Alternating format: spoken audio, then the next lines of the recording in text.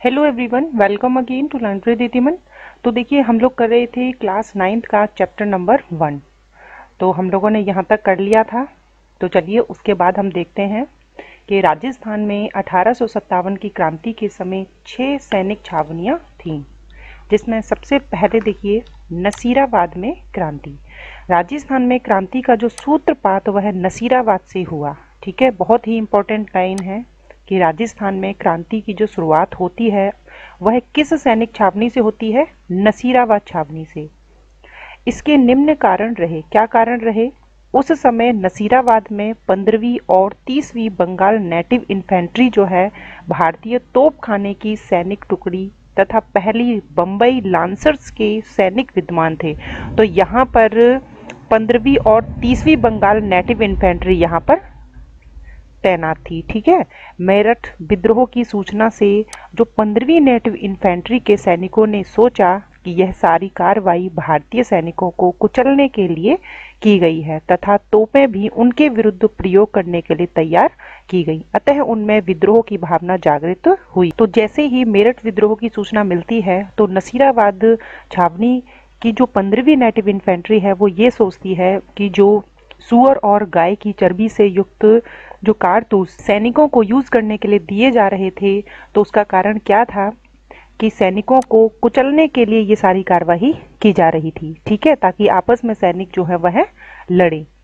पंद्रहवीं Bengal native infantry की एक टुकड़ी काफ़ी समय से अजमेर शस्त्रागार की रक्षा कर रही थी। अब देखिए, अजमेर में यहाँ पर शस्त्रागार था तो इसकी रक्षा कौन कर रही थी? पंद्रहवीं नेटिव इन्फेंट्री। तो संदेह के कारण उसे वहाँ से नसीराबाद भेज दिया गया।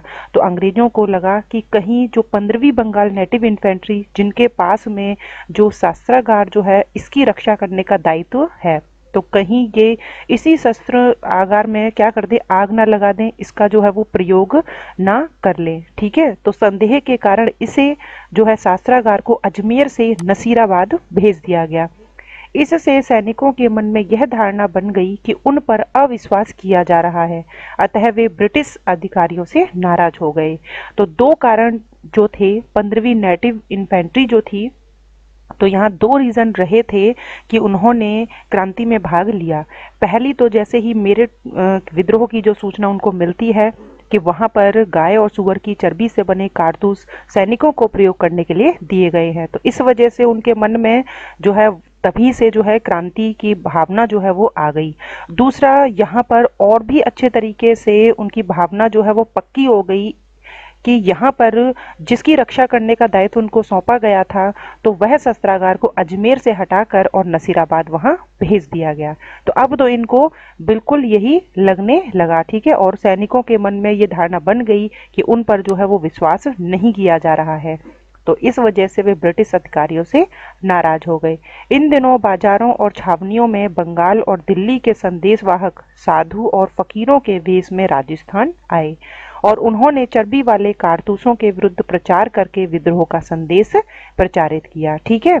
तो यहाँ पर साधु और फकीरों के रूप में जो है, भारत के विभिन्न जगहों से, बंगाल से, दिल्ली से यहाँ से लोग आते हैं। क्रांति का आगाज़ करने के लिए और चर्बी वाले कारतूसों की बात जो है वो यहाँ के सभी लोगों को बताई जाती है। तो राजस्थान के लोगों को भी ये पता चलती है। तो भारतीय सैनिकों ने सोचा कि अंग्रेज़ जो हैं, वह उन्हें धोखे से ईसाई बनाना चाहते हैं। धर्म परिवर्तन उनका करना चाहते हैं। तो इस धार्मिक भावना के कारण भी उत्तेजना फैली। भारतीय सैनिकों पर नियंत्रण रखने के लिए बाहर से यूरोपियन सेना और कुछ तोपें मंगवाई गईं।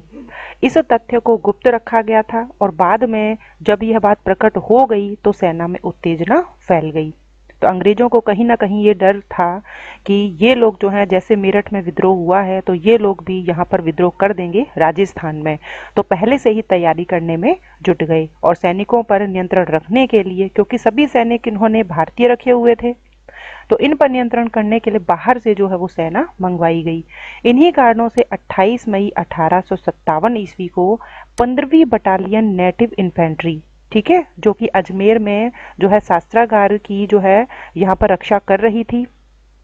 तो उसी बटालियन ने, सैनिकों ने तोप खाने पर अधिकार कर लिया। सारी छावनी में भगदड़ मच गई। सैनिकों ने शस्त्रागार को लूट लिया। अंग्रेज़ सैनिक अधिकारियों, मेजर स्पोर्टिस वुड और कर्नल न्यूबारी, इनकी हत्या कर दी गई। लेफ्टिनेंट लॉक तथा कप्तान हार्डी घायल हो गए। अंग्रेज़ अधिकारियों ने नसीराबाद से भाग कर कहाँ पर व्यावर में ठीक है, अजमेर के पास में व्यावर तो यहाँ शरण ली चर्चों और अधिकारियों के बंगले में आग लगा दी गई, खजानों की तिजोरियाँ तोड़ दी गईं, पर इन विद्रोही सैनिकों ने चार ब्रिटिश अधिकारियों के अलावा रक्त की एक बूंद भी नहीं बहाई। तो यहाँ पर दो नाम आप याद रखिए स्पोर्टिस वुड और कर्नल न्यूबेरी। इनकी हत्या जो है, नसीराबाद छावनी की, जो पंद्रहवीं नेटिव इन्फेंट्री के जो सैनिक थे, इन्होंने सबसे पहले की। ठीक है? और 28 मई अठारह को नसीराबाद में सबसे पहले जो है, यहाँ पर क्रांति जो है, होती है। छावनी को तहस नहस करने के बाद विप्लवी सैनिकों ने अविलंब दिल्ली की ओर प्रस्थान किया। तो यहाँ से अब छावनी को तहस नहस करने के बाद ये दिल्ली की ओर गए। 18 जून अठारह ईस्वी को विप्लवी दिल्ली पहुँच गए और दिल्ली में डेरा वाले अंग्रेज़ी पलटन पर पीछे से आक्रमण किया, जिसमें अंग्रेज़ परास्त हुए। फिर देखे, नीमच में क्रांति। तो नसीराबाद में हो गई क्रांति। उसके बाद नसीराबाद की क्रांति की सूचना जैसे ही नीमच पहुँची तो 3 जून अठारह को नीमच के सैनिकों ने भी विद्रोह कर दिया।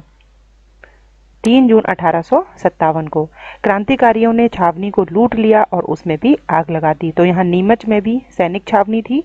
नीमच छावनी को लूटने के बाद क्रांतिकारी नीमच से रवाना होकर सरकारी बंगलों को लूटते हुए, उनमें आग लगाते हुए कहाँ पहुँचे? शाहपुरा पहुँचे। शाहपुरा के शासक ने क्रांतिकारियों को भोजन और ठहरने की सुविधा प्रदान की। इसके बाद क्रांतिकारी निम्बाहेड़ा पहुँचे, जहाँ की जनता ने इनका बड़ा स्वागत किया। तत्पश्चात क्रांतिकारी यहाँ से देवली टोंक और आगरा होते हुए दिल्ली पहुँचे। मार्ग में अनेक स्थानों पर जनता ने क्रांतिकारियों का स्वागत किया और क्रांतिकारियों की संख्या में काफ़ी वृद्धि हुई। तो यहाँ से देखिए, बहुत ही इंपॉर्टेंट लाइन है कि नीमच में जैसे छावनी को लूट लेते हैं, उसके बाद जो है क्रांतिकारी कहाँ जाते हैं? सबसे पहले सबसे पहले शाहपुरा जाते हैं, फिर निम्बाहेड़े जाते हैं, ठीक है? निम्बाहेड़ा जाते हैं, फिर देवली, टोंक, आगरा होते हुए दिल्ली जाते हैं। ठीक है? और नसीराबाद में जब अंग्रेज़ अधिकारियों की हत्या की थी तो उन्होंने सबसे पहले नसीराबाद से भागकर कहाँ शरण ली थी? ब्यावर में। नीमच में क्रांतिकारियों के चले जाने के बाद A G G agent to governor general कौन था उस वक्त? लॉरेंस इसके निर्देशन के पश्चात इसके निर्देशन पर कप्तान सावर्स ने कोटा बूंदी मेवाड़ की राजकीय फौजों की सहायता से 8 जून अठारह सौ सत्तावन को नीमच पर पुनः अधिकार कर लिया। अब यहाँ से क्रांतिकारी जो है दिल्ली पहुँच जाते हैं तो जैसे ही मौका देखता है ए जी जी लॉरेंस तो वह कप्तान सावर्स को नीमच भेजता है। ठीक है? कप्तान सावर्स कोटा बूंदी और मेवाड़ की फौज की सहायता से यहाँ पर दोबारा से अधिकार कर लेता है नीमच पर 8 जून अठारह सौ सत्तावन को। अब देखिए एरिनपुरा और आउवा की क्रांति। तो अंग्रेज़ों के विरुद्ध विद्रोह का झंडा उठाने और उनकी सत्ता को चुनौती देने का काम मारवाड़ के जागीरदारों ने किया। एरिनपुरा में स्थित जोधपुर की सैनिक टुकड़ी को जब नसीराबाद में हुई क्रांति की सूचना मिली तो उसने भी 21 अगस्त अठारह सौ सत्तावन को क्रांति का बिगुल बजा दिया, ठीक है? तो 28 मई को नसीराबाद में, उसके बाद 3 जून को कहाँ पर हुई? नीमच में और 21 अगस्त को एरिनपुरा में क्रांति हुई। क्रांतिकारियों ने एरिनपुरा स्टेशन को लूटा और मारवाड़ के रास्ते दिल्ली की ओर रवाना हो गए। जब क्रांतिकारी पाली पहुँचे तो आओवा जो पाली ज़िले में स्थित एक गाँव है। तो यहाँ के ठाकुर कुशाल सिंह ने उन्हें अपनी सेवा में ले लिया। तो ठाकुर कुशाल सिंह, जो कि आओवा के थे तो इन्होंने क्रांतिकारियों की बहुत सहायता की। आओवा का ठाकुर मारवाड़ का शक्तिशाली सामंत था। ठीक है? याद रखिएगा। कि सामंतों की हालत जो है अंग्रेज़ों की वजह से खराब हुई थी। तो ये लोग पहले से ही क्रोधित थे अंग्रेज़ों से। तो यहाँ पर जो सामंत कुशाल सिंह थे, इन्होंने सहायता की क्रांतिकारियों की। वह अंग्रेज़ों और जोधपुर के महाराज, जो जोधपुर के महाराज थे, तख्त सिंह, इन तो महाराजा दोनों का विरोधी था। ऐसा कहा जाता है कि मेवाड़ और मारवाड़ के अनेक सामंत अपनी सेनाएँ लेकर कुशाल सिंह की सहायता के लिए आओवा आ पहुँचे। जोधपुर के महाराजा ने सिंघवी कुशल राज के नेतृत्व में एक फौज अंग्रेज़ों का दमन करने हेतु आओवा भेजी। 8 सितंबर अठारह को आओवा के ठाकुर और क्रांतिकारियों की किस किस के बीच में? आओवा के ठाकुर कुशाल सिंह और क्रांतिकारी। इन्होंने जोधपुर के राजकीय फौज को पराजित कर दिया। तो बिठौड़ा नामक स्थान पर जो है, इनका युद्ध होता है। आओवा के ठाकुर कुशाल सिंह और उसके साथ में क्रांतिकारी जो थे, और दूसरी तरफ़ जोधपुर की सेना थी, ठीक है, जिसमें जोधपुर की सेना हार जाती है। इस संघर्ष में किलेदार अनार सिंह मारा गया। तो अनार सिंह जो था, किलेदार तो वह कौन से युद्ध में मारा गया था? तो 8 सितंबर अठारह सौ सत्तावन को जो बिठौड़ा नामक स्थान पर युद्ध होता है तो उस समय किलेदार अनार सिंह जो है, वह मारा जाता है। सिंघवी कुशल राज जान बचाकर वहाँ से भाग खड़ा हुआ। जोधपुर फौज की तोपें बहुत सारे युद्ध सामग्री क्रांतिकारियों के हाथ लग गई। इस घटना के कुछ समय बाद ही ए जी जी लॉरेंस एक सेना लेकर स्वयं आवा आया।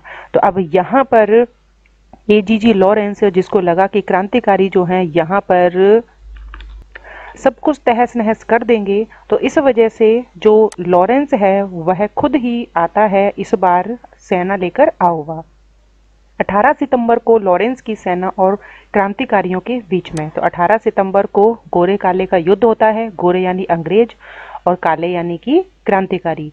तो लॉरेंस की सेना और क्रांतिकारियों के बीच में भीषण संघर्ष होता है, जिसमें लॉरेंस जो है वो दोबारा से हार जाता है। ब्रिटिश फौज को परास्त करने के बाद क्रांतिकारी जो है वो दिल्ली की ओर कूच कर गए। ठीक है? तो जो 8 सितंबर अठारह को बिठौड़ा नामक स्थान पर युद्ध होता है, उसमें भी अंग्रेज़ों की हार होती है और 18 सितंबर अठारह को जो गोरे काले का युद्ध होता है तो उसमें भी जो अंग्रेज़ थे, इनको मुँह की खानी पड़ती है। ठीक है? तो अब ये देखिए, ये क्या है? आओवा का किला। तो देखिए, यहाँ पर अठारह आओवा किले के इसी दरवाजे पर लटकाया था अंग्रेज़ों का सिर तो क्रांतिकारियों ने अंग्रेज़ों का सिर जो है वो काटकर इसी आओवा किले के दरवाजे पर लटकाया था, ठीक है? जॉर्ज पैट्रिक लॉरेंस आउवा की पराजय को भूला नहीं था, इसीलिए आउवा के ठाकुर से बदला लेने के लिए अब उसने ब्रिगेडियर होम्स के नेतृत्व में एक बहुत बड़ी सेना जो है वो आउवा भेजी। 20 जनवरी अठारह को ब्रिगेडियर होम्स ने आउवा पर आक्रमण कर दिया। दोनों सेनाओं के बीच में फिर से संघर्ष होता है। इस संघर्ष के दौरान ठाकुर कुशाल सिंह आउवा के किले को छोड़कर सलूम पर चला जाता है। तो अब की बार जो है, यहाँ पर बहुत बड़ी सेना जो है, ब्रिगेडियर होम्स लेकर आता है। तो आउवा के ठाकुर जो है, उसका सामना नहीं कर पाते हैं। और इस वजह से उस किले को छोड़कर सलूम पर चले जाते हैं।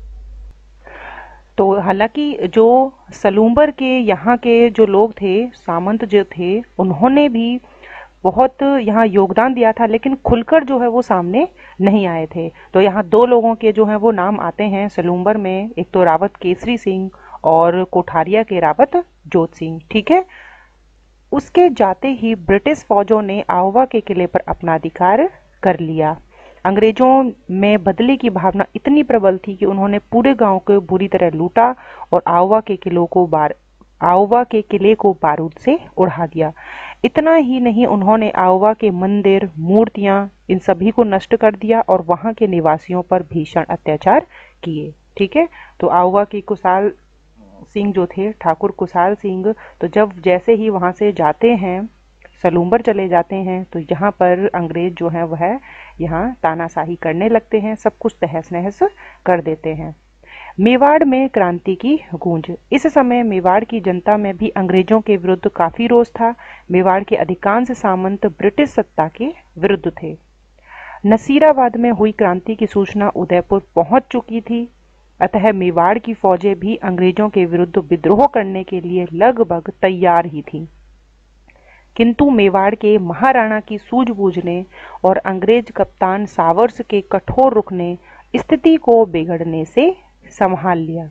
इस समय महाराणा और कंपनी की सरकार दोनों को ही मेवाड़ के सामंतों से भय था। अतः दोनों एक दूसरे के साथ सहयोग करने के लिए बाध्य हो गए। एजीजी के निर्देश पर मेवाड़ के महाराणा स्वरूप सिंह तो उस समय उदयपुर जो थी, वहाँ पर स्वरूप सिंह जो थे, रियासती शासक थे। तो उदयपुर जो है, वो कहा किसमें आता था? मेवाड़ में ही।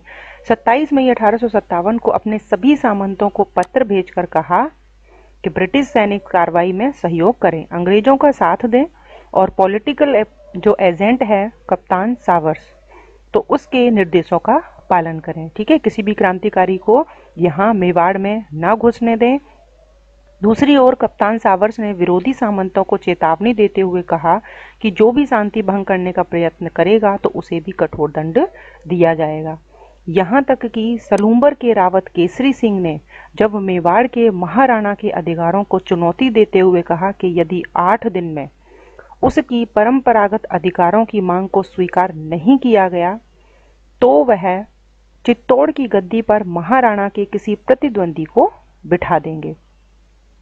तथा तब कप्तान सावर्स ने रावत केसरी सिंह को चेतावनी दी कि यदि उसने महाराणा के विरुद्ध किसी भी कार्रवाई में भाग लिया तो उसे उसकी जागीर से अपदस्त कर राजपुताने से ही निष्कासित कर दिया जाएगा। तो कप्तान सावर्स की इस धमकी से रावत केसरी सिंह शांत हो गए। तो मैंने आपको बताया कि सलूम्बर के रावत केसरी सिंह, उनका नाम आता है अठारह सौ सत्तावन की क्रांति के समय, ठीक है? और दूसरा जो नाम आता है वो आता है कोठारिया के रावत ज्योति सिंह। हालाँकि ये लोग जो हैं क्रांतिकारियों के साथ ही थे, लेकिन खुलकर जो है सामने नहीं आते हैं, घबरा जाते हैं, ठीक है? तो यहाँ पर सलूम्बर के रावत केसरी सिंह ने जब यहाँ महाराणा के अधिकारों को चुनौती दी कि हम जो है, आपकी बात से सहमत नहीं है तो यहाँ का जो पीए था कौन? कप्तान सावर्स। तो उसने रावत केसरी सिंह को ये धमकी दी कि यदि महाराणा के विरुद्ध कोई भी कार्रवाई करेगा तो उसे यहाँ राजपुताने से ही बाहर निकाल दिया जाएगा। तो ये शांत रह जाते हैं। फिर देखिए, कोटा में क्रांति। तो कोटा जो है, सैनिक छावनी तो नहीं थी, लेकिन यहाँ पर क्रांति हुई। राजस्थान के राज्यों में हुई अठारह ईस्वी की क्रांति में कोटा का महत्वपूर्ण स्थान है। कोटा में विद्रोह का मुख्य कारण यह था कि पॉलिटिकल एजेंट, कोटा में कौन था? Political agent major Burton. इसने कोटा महाराव को यह सलाह दी तो यहाँ जो महाराव थे कौन? राम सिंह। कि कुछ अफसर वफादार नहीं हैं तथा उनका रवैया अंग्रेज़ विरोधी है। अतः वे ऐसे अफसरों को पदच्युत कर अंग्रेज़ अधिकारियों को सौंप दें। तो देखिए, अंग्रेज़ जो है कैसी कैसी चालें चलते थे। तो यहाँ पर का जो पीए था, मेजर बर्टन उसने यहाँ के महाराजा को सलाह दी कि जो अफसर हैं, वो वफादार नहीं हैं, उनका रवैया जो है अंग्रेज़ विरोधी हैं तो उनको, उनके पदों से हटा दिया जाए, जिससे और उन्हें अंग्रेज़ों को सौंप दिया जाए, जिससे उन्हें उचित दंड दिया जा सके। मेजर बर्टन ने जिन अफसरों को सौंपने की मांग की थी, उनमें जयदयाल, रतनलाल, जियालाल। ये प्रमुख थे, ठीक है? मेजर बर्टन द्वारा महाराव को जो सलाह दी गई, वह किसी प्रकार महाराव की फौज और फौज के अधिकारियों पर प्रकट हो गई। फलस्वरूप, फौज के सभी सिपाही क्रोध से पागल हो गए और उन्होंने मेजर बर्टन से बदला लेने का निश्चय किया। तदनुसार 15 अक्टूबर अठारह कोटा के सैनिकों ने क्रांति का बिगुल बजा दिया। तो यहाँ कोटा में जयदयाल, रतनलाल और जियालाल। इन्होंने जो है यहाँ पर क्रांति का बिगुल बजाया। कोटा के सैनिकों ने क्रांतिकारियों के साथ रेजिडेंसी को घेर लिया और उसमें आग लगा दी। अब देखिए जैसे जैसे हम पढ़ते जा रहे हैं, ऐसा लग रहा है कि वो सीन जो है वो हमारे सामने ही चल रहा है। तो यहाँ पर कोटा में मेजर बर्टन था। और उसके दोनों पुत्रों की सबसे पहले ये लोग हत्या कर देते हैं क्रांतिकारी। क्रांतिकारियों ने शहर में जुलूस निकाला और महाराव के महल को घेर दिया, घेर लिया। महाराव अपने महल में एक प्रकार से कैद हो गए और फिर क्रांतिकारियों ने महाराव को एक संधि पत्र पर हस्ताक्षर करने के लिए विवश किया और इसमें नौ शर्तें थी। तो जिसमें एक शर्त ये थी कि अब इनको जो है, जिस तरीके से अंग्रेज़ मजबूर करते थे इनको तो वही चाल जो है इन्होंने इनके ऊपर अपनाई। मेजर बर्टन और उसके पुत्रों की हत्या स्वयं महाराव के आदेश से की गई है। ऐसे क्रांतिकारियों ने शर्त जो है, उन्होंने रखी और साइन करने को कहा राम सिंह को। महाराव को क्रांतिकारियों की इच्छानुसार व्यवहार करने के लिए तब तक विवश होना पड़ा जब तक करौली से सैनिक सहायता प्राप्त नहीं हो गई। क्रांतिकारियों का कोटा शहर पर लगभग छः महीने तक अधिकार रहा। तो यहाँ पर कोटा शहर पर क्रांतिकारी छः महीने तक जो है, इसको घेरे रखते हैं।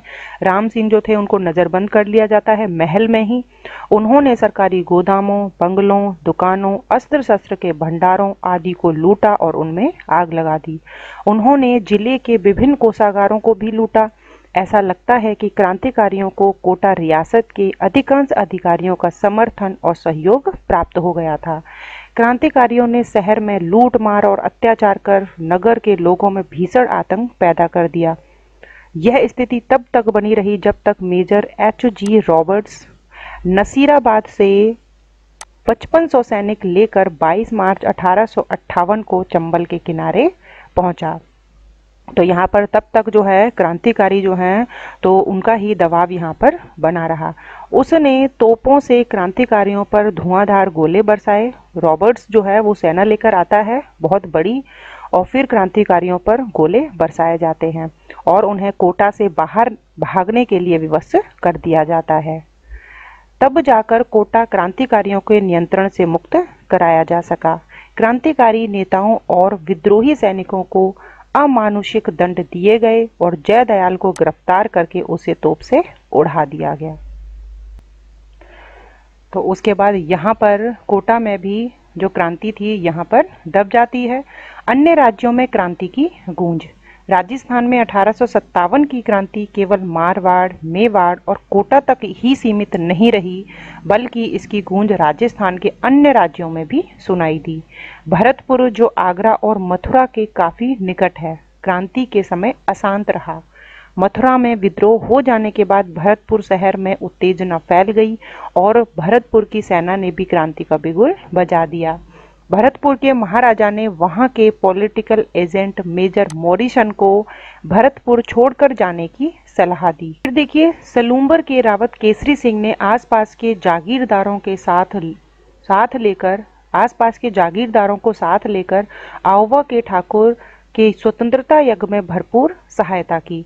तो यहाँ आवा से निकलकर सलूम्बर आ जाते हैं ठाकुर। कुशाल सिंह तो यहाँ पर इनको हेल्प मिल जाती है। तो उदयपुर के महाराणा ने कंपनी सरकार के साथ जो संधि की थी कि कोई भी जो ब्रिटिश विरोधी है, उसको इस एरिए में ना घुसने दिया जाए। जो भी महाराजा थे, उनको ये ऐलान पहले से ही कर दिया था। तो यहाँ पर केसरी सिंह जो है, वो आ चुके थे। तो इस वजह से ए जी जी लॉरेंस ने केसरी सिंह की ब्रिटिश विरोधी गतिविधियों को देखकर यहाँ के महाराणा को यह दबाव डाला कि वे उसके विरुद्ध कार्रवाई करें। लेकिन महाराणा उसके विरुद्ध कोई भी कार्रवाई नहीं कर पाए। अंग्रेज़ों द्वारा आओवा गाँव को तो तहस नहस कर दिया और आओवा के ठाकुर कुशाल सिंह जो इधर उधर भटक ही रहे थे तो कोठारिया के रावत ज्योति सिंह ने उनको उस वक्त गले लगाया था। ठीक है? तो यहाँ कोठारिया के रावत ज्योति सिंह जो है, इनका साथ देते हैं कुशाल सिंह का। उन्होंने कोठारिया में पेशवा नाना साहब और उसके परिवार को भी शरण दी थी और सब प्रकार की सुख सुविधाएँ उपलब्ध कराई। तो इस प्रकार ब्रिटिश सत्ता का विरोध कर और भावी परिणामों की चिंता ना कर सलूमर और कोठारिया यहाँ के रावतों ने भी अपूर्ण त्याग और साहस का परिचय दिया। अगस्त अठारह ईस्वी तक समस्त भारत में विद्रोह कुचल दिया गया। नवंबर अठारह ईस्वी में ईस्ट इंडिया कंपनी ने भारत का जो शासन है, वह ब्रिटिश ताज को सौंप दिया। ब्रिटेन की महारानी विक्टोरिया की ओर से भारत के सभी नरेशों को यह आश्वासन दिया गया कि उनके अधिकारों, उनके विशेषाधिकारों को सुरक्षित रखा जाएगा। ठीक है? यह आश्वासन दिया और ये जो क्रांति थी यहाँ पर दब जाती है। यदि ये क्रांति और भी ज़्यादा उग्र रूप ले लेती तो 1947 तक जो है भारतीयों को इतना ज़्यादा अत्याचार सहन नहीं करना पड़ता। तो यहाँ पर ये सब जो है वो अंग्रेज़ों की चाल ही थी। तो उदयपुर महाराणा ने स्वागत किया इनका और अंग्रेज़ों के सम्मान में भव्य दावत दी गई। तो राजस्थान में तो प्रथम स्वतंत्रता संग्राम जो है वो असफल रहा, परंतु विप्लव के बाद राजस्थान का जो परंपरागत ढांचा था, उसका जो स्वरूप था वो बदलने लगा। कैसे? आधुनिक शिक्षा का प्रसार, नए मध्यम वर्ग का जन्म, प्रशासनिक सेवाओं में जनसाधारण की नियुक्तियाँ, वैश्य समुदायों का सहयोग लिया जाने लगा। इन्हें महत्वपूर्ण पद और विभिन्न प्रकार के संरक्षण देना और कुछ तरह के कार्य ऐसे होने लगे जिससे राजपूतों का महत्व तो कम हो गया। तो जो भी परंपरागत ढांचा था, वो बिल्कुल चेंज हो गया। राजस्थान के नरेश और जागीरदार अब पूरी तरह से अंग्रेज़ों पर निर्भर हो गए। तो क्या कारण रहे अठारह की क्रांति का? तो चलिए देखते हैं। राजस्थान के राजाओं ने अंग्रेज़ों के प्रति अपनी झुकने की प्रवृत्ति का परिचय दिया। बिल्कुल सही बात है। हमने देखा कि जो शासक थे, वही डर गए। अंग्रेज़ों से और डर की वजह से अपनी रियासत को महफूज रखने की वजह से क्या किया उन लोगों ने? अंग्रेज़ों का साथ दिया, उनसे संधि की। जयपुर, अलवर, भरतपुर, धौलपुर, करौली, सिरोही, टोंक, बीकानेर, डूंगरपुर, बांसवाड़ा, प्रतापगढ़ के शासकों ने विप्लव की आंधी को रोकने के लिए ब्रिटिश सत्ता को सहयोग किया। मुगल सम्राट बहादुर शाह और स्थानीय विद्रोहियों ने राजस्थानी राजाओं को स्वतंत्रता संग्राम का नेतृत्व प्रदान करने हेतु आमंत्रित किया, पर इसके बाद भी इन्होंने अंग्रेज़ों का साथ दिया। ठीक है तो ये एक कारण रहता है। क्रांति के असफल होने के सेकंड नंबर देखिए, राजस्थान के विद्रोहियों में आपसी एकता और संपर्क का अभाव रहा। अब इनमें आपसी एकता नहीं थी और एक दूसरे से जो है इनका संपर्क नहीं था। इसी वजह से अलग अलग क्रांति जो है अलग अलग जगह पर होती है। और मुट्ठी भर क्रांतिकारी थे लेकिन अंग्रेज़ों के पास जो उनके सैनिक थे, उनकी संख्या काफ़ी अधिक थी। कोटा, नसीराबाद, भरतपुर, धौलपुर टोंग आदि में अलग अलग समय पर क्रांति होने के कारण अंग्रेज़ों को विद्रोहियों से निपटने का अवसर मिल गया। मारवाड़, मेवाड़, जयपुर आदि के नरेशों ने तात्या टोपे को किसी प्रकार का सहयोग नहीं दिया। ये भी कारण रहता है असफल होने का। राजस्थान की 18 रियासतों में संगठन और एकता का अभाव था। नेतृत्व के लिए जब मेवाड़ के महाराणा से संपर्क किया तो नेतृत्व प्रदान करने की बजाय उन्होंने शासकों के पत्र व्यवहार संबंधी सारे कागजात ही ब्रिटिश अधिकारियों को सौंप दिए। तो अब बताइए कि अठारह सौ सत्तावन की क्रांति असफल तो होनी ही थी? फिफ्थ नंबर देखिए, राजस्थान अनेक देसी रियासतों में बटा हुआ था। इस कारण उसमें क्रांतिकारियों का कोई केंद्रीय संगठन नहीं था। ठीक है तो अब इतनी सारी देसी रियासतों में बटा हुआ था। सबकी शासन, प्रशासन जो व्यवस्था थी वो अलग अलग थी। तो यहाँ पर एक दूसरे का जो है, इन्होंने जो है एकता नहीं निभाई, ना ही संगठन किया। उनमें नेतृत्व का भी सर्व था, अभाव था। क्रांतिकारियों के बीच आपस में संपर्क भी नहीं रहा। उनमें त्याग बलिदान की भावना तो थी, किंतु उनमें न तो अंग्रेज़ों जैसा रण कौशल ही था, न वे अंग्रेज़ सैनिकों के समान प्रशिक्षित थे। ठीक है तो ना तो जो भारतीय थे, वो पढ़े लिखे थे, और ना ही उनके अंदर अंग्रेज़ों की तरह ऐसी चालाकी थी। इसके अतिरिक्त क्रांतिकारियों को धन, रसद और हथियारों की कमी का भी सामना करना पड़ा। अंग्रेज़ों ने अन्य क्षेत्रों में हुई क्रांति का दमन करते हुए जून अठारह सौ अट्ठावन तक उत्तर भारत के अधिकांश भागों पर पुनः अपना नियंत्रण कर लिया। तो जो भी क्रांति हुई थी, वो धीरे धीरे पूरी तरीके से समाप्त हो गई और दोबारा से अंग्रेज़ों का यहाँ अधिकार हो गया। इस कारण उन्होंने राजस्थान में हुई क्रांति का दमन करने के लिए अपनी पूरी शक्ति लगा दी। अब देखिए, ये तो सभी कारण थे छह। अब देखिए, अठारह की क्रांति की असफलता के परिणाम क्या निकले? तो सन अठारह की क्रांति के असफल होने के बाद राजस्थान की रियासतें ब्रिटिश संरक्षण में चली गई। ब्रिटिश सम्राट ने राजस्थान की सभी रियासतों में कंपनी द्वारा की गई संधियाँ जारी रखी। जो भी संधियाँ पहले की गई थी तो वो दोबारा से चालू हो गई। राजस्थान की जनता पर अब गुलामी का दोहरा अंकुश हो गया। एक तो वे रियासती राजाओं के अधीन थे दूसरे अंग्रेज़ों का भी उन पर नियंत्रण हो गया। परिणाम स्वरूप यह निश्चित हो गया कि निकट भविष्य में राजस्थान में स्वतंत्रता आंदोलन का कोई भविष्य नहीं है। अंग्रेज़ी शिक्षा के प्रसार के कारण लोगों में राष्ट्रीय जागृति का प्रादुर्भाव हुआ। स्वधर्म, स्वदेशी, स्वराज, स्वभाषा के फलस्वरूप लोगों में क्रांति की भावना दोबारा से पल्लवित हुई। हालाँकि अंग्रेज़ों की वजह से ही एक चीज़ जो है वो अच्छी हुई और वो क्या हुआ? अंग्रेज़ी शिक्षा का प्रसार। तो इससे भारतीय जो जो कि पढ़ लिख गए, उनमें जो है राष्ट्रीय चेतना की भावना जो है वह आई और इस वजह से आगे जाके उन्होंने लोगों को इकट्ठा करना शुरू किया। ठीक है? इस भावना का बल प्रदान करने वालों में अर्जुन, लाल सेठी, केसरी सिंह बारहट, गोपाल सिंह खरवा आदि अग्रणी माने जाते हैं। इस क्रांति की असफलता ने भावी संगठित आंदोलनों की भूमिका तैयार कर दी। तो अब एक एक करके जो है वो आंदोलन के लिए संगठन जो है वो तैयार किए जाने लगे। तो चलिए ये चैप्टर जो है वो कंप्लीट होता है। बहुत अच्छे तरीके से हमने इसको रीड कर लिया है। बिल्कुल ही स्टोरी टाइप था और मैंने यहाँ पर आप लोगों का बिल्कुल भी टाइम वेस्ट नहीं किया है। ठीक है? जो भी चीज़ बताने वाली थी बताई जाती है और यहाँ पर किसी भी तरीके से आप लोगों का समय बर्बाद ना हो और चैप्टर भी आप लोगों का समय पर पूरा हो जाए। तो इसी तरीके से हमने ये चैप्टर कंप्लीट किया। अब देखिए अभ्यास प्रश्न, जिसमें अति लघुत्रात्मक प्रश्न जो है वो देखिए। 1823 ईस्वी में अंग्रेज़ों ने सबसे अंत में राजस्थान के किस रियासत के साथ संधि की थी। तो सोचिए, आप लोगों ने जो है चैप्टर बहुत अच्छे से रीड कर लिया है। अब बताइए, क्वेश्चन नंबर वन का आंसर। फटाफट से दिमाग लगाइए और सोचिए कि 1823 ईस्वी में अंग्रेज़ों ने सबसे अंत में राजस्थान के किस रियासत के साथ संधि की थी। तो मैंने जब चैप्टर पढ़ाया था आपको, जो लास्ट वीडियो हमने देखा था, उसमें ये चीज़ बताई थी। सबसे अंत में जो सिरोही राज्य था, उसने संधि की। अठारह ईस्वी की क्रांति आरंभ होने के समय राजस्थान में कहाँ कहाँ सैनिक छावनियाँ थीं? तो कहाँ कहाँ थी? कुल मिलाकर जो है वो छह सैनिक छावनियाँ थीं। नसीराबाद, जहाँ पर सबसे पहले जो है वो क्रांति होती है। उसके बाद नीमच, उसके बाद एरिनपुरा ठीक है? और उसके बाद देवली, ब्यावर, खेरवाड़ा तो ये सभी छह सैनिक छावनियाँ थी। कोटा जो है, वो सैनिक छावनी नहीं थी। तो ये सेकंड क्वेश्चन जो है, वह होता है कंप्लीट थर्ड देखिए, राजस्थान में अठारह सौ सत्तावन ईस्वी की क्रांति का आरंभ किस दिनांक को हुआ? तो सबसे पहले यहाँ पर क्रांति स्टार्ट होती है नसीराबाद से।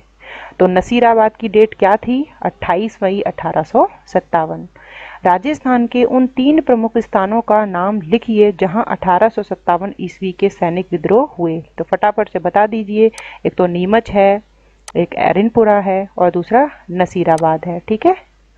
राजस्थान के उन तीन राजाओं के नाम का उल्लेख कीजिए जिन्होंने अठारह ईस्वी की क्रांति में क्रांतिकारियों का सहयोग किया। तो किस किस ने किया था? तो यहाँ हमने देखा कोटा के जो महाराजा थे, राम सिंह, उन्होंने साथ दिया था। उसके अलावा हमने देखा जोधपुर के जो महाराजा तकत सिंह थे, उन्होंने साथ दिया था। ठीक है? उदयपुर में स्वरूप सिंह थे, उन्होंने साथ दिया था। तो इस तरीके से अति लघुत्रात्मक प्रश्न जो है, वह भी देखना ज़रूरी है। कई बार एग्जामिनर यही क्वेश्चन उठाकर जो है, वो आपके एग्ज़ाम में पूछ लेंगे। ठीक है? तो हर चीज़ करनी ज़रूरी है। लघुत्रात्मक प्रश्न राजस्थान में अंग्रेज़ी साम्राज्य के आरंभिक विस्तार पर प्रकाश डालिए। तो जो हमने पढ़ा है, उसको आप सोचिएगा। राजस्थान में अठारह सौ सत्तावन ईस्वी की क्रांति के आरंभ के प्रमुख कारणों को संक्षेप में समझाइए। तो मैंने बताया आपको कि क्रांति जो है, वो क्यों होती है, क्या कारण रहे? राजस्थान में अठारह सौ सत्तावन की क्रांति में मेवाड़ के योगदान का वर्णन कीजिए कि यहाँ मेवाड़ में जो शासक थे, उन्होंने किस तरीके से अंग्रेज़ों का साथ दिया था और यहाँ के जो लोग थे, उन्होंने क्रांतिकारियों का साथ दिया। फिर देखिए, बड़े क्वेश्चन देखिए, यहाँ अठारह सत्तावन क्रांति के दौरान विभिन्न सैनिक विद्रोह का आलोचनात्मक मूल्यांकन कीजिए और स्थानीय शासकों की भूमिका की आलोचनात्मक व्याख्या कीजिए। तो ये जो है कंप्लीट हो जाता है चैप्टर, यदि हम इन क्वेश्चन को सॉल्व करते हैं। तो हमने चैप्टर वो है बहुत अच्छे तरीके से रीड कर लिया है। तो अठारह सौ सत्तावन की क्रांति का जो है आप लोग यदि बना रहे हैं नोट्स में तो बिल्कुल यहाँ से जो है बहुत अच्छे से नोट्स जो है वो आपके तैयार हो सकते हैं। तो चलिए मिलेंगे नेक्स्ट वीडियो में। Thank you